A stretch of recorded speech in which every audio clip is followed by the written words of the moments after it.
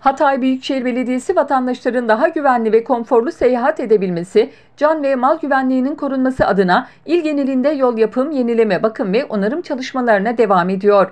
Ben Çekmece Mahalle Muhtarı Ali Kaya. E, Taleplerimiz üzerine Çekmece mahallemizdeki 405. sokak, 424. sokak, 475. sokak, 402, 301 ve 302. sokakların asfalt e, serim çalışması yapıldı. Başta Büyükşehir Belediye Başkanımız Sayın Mehmet Öntürk'e, Muhtarlar Daire Başkanımız Sayın Hüseyin Bahadırlı'ya, Yol Bakım Daire Başkanımız Sayın Mehmet Yüksek'e ve Şenol Polat'a ilgilerinden dolayı teşekkür ediyorum. Mahallelerinden de şöyle bir ricada bulunacağım. E, Sayın Büyükşehir Belediye Başkanımız söz verdiği gibi gerçekten e, bir dediğimizi iki etmiyor ama sabırla Biraz daha sabır. Allah'ın izniyle her tarafı yapacağına dair söz aldık. Ee, çok teşekkür ediyoruz. Ee, biz de e, Çekmece Mahallesi muhtarı olarak gerçekten Büyükşehir Belediye Başkanımızdan ve daire başkanlarımızdan inanılmaz derecede ilgi görüyoruz, kıymet görüyoruz ve bir dediğimiz iki edilmiyor.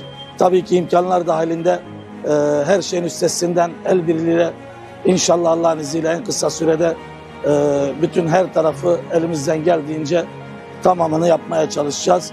Tekrar Büyükşehir Belediye Başkanımıza teşekkür ediyorum. Allah razı olsun. Hatay Büyükşehir Belediyesi Yol Bakım ve Altyapı Koordinasyon Dairesi Başkanlığı, Başkan Mehmet Öntürk'ün yıl sonuna kadar 1400 kilometrelik yol hedefi doğrultusunda il genelinde trafik akışını ve güvenliğini etkileyecek noktalarda yol yapım çalışmalarına devam ediyor. Ekipler Defne ilçesi Çekmece mahallesinde asfalt serimi çalışmalarına başladı. Çalışmalar en kısa sürede tamamlanarak yol vatandaşların hizmetine sunulacak.